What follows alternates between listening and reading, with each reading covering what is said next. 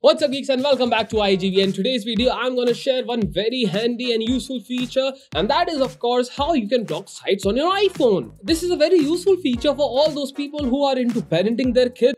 What are you watching, son? Can I see? No. Let's see what's on YouTube, kids. Because you were also a kid once and you know what kids can do on their phone.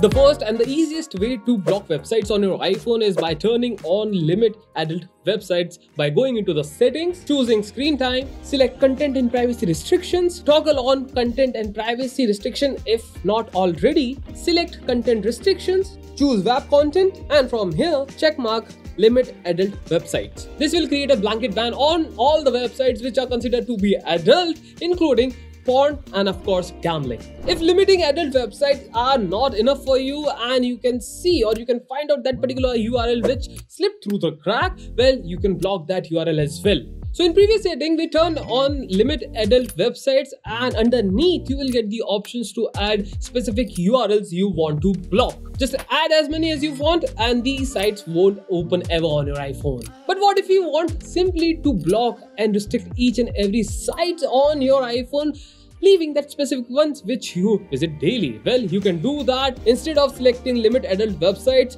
you need to select allowed websites and add those websites which you want to allow on your iPhone. This option will restrict each and every website from opening up on your iPhone except for those you have added. And that's all guys, that's how you block websites on your iPhone. If I have helped you, make sure you press the like button. Also subscribe to the channel, press the bell icon so that you don't miss out on any amazing tips and tricks like this. Also, if you're facing any problem, do let me know in the comment section. I'll be more than happy to help you.